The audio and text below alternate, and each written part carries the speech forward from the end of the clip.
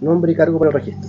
Subprefecto Víctor Salazar Ferrada, jefe de la Brigada de Homicidios Valparaíso. Antecedente del trabajo que se está realizando acá. Bueno, el día de hoy, en horas de la mañana, Fiscalía Local de Villa Alemana nos dio una orden de investigar puntualmente a la Brigada de Homicidios Valparaíso con el objeto de realizar diligencias de carácter investigativo en un inmueble de la comuna.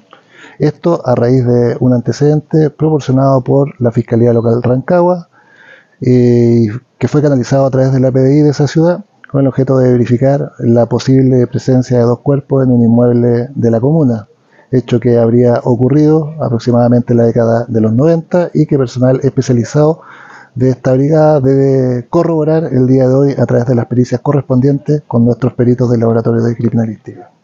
Este caso corresponde a la información otorgada por el imputado Bustamante. Efectivamente, eh, el imputado Hugo Bustamante, reo del Centro de Cumplimiento Penitenciario Rancagua, entrega esta información a Gendarmería, posteriormente a la Fiscalía y la PDI de esa ciudad, y motivo por el cual se solicitan diligencias puntuales de investigación a esta brigada especializada en la ciudad de Valparaíso. Específicamente, ¿qué se va a realizar en el ciclo de suceso?